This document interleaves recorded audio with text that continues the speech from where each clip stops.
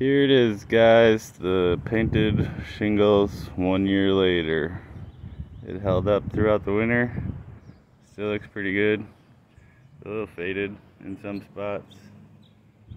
But still that slate color overall.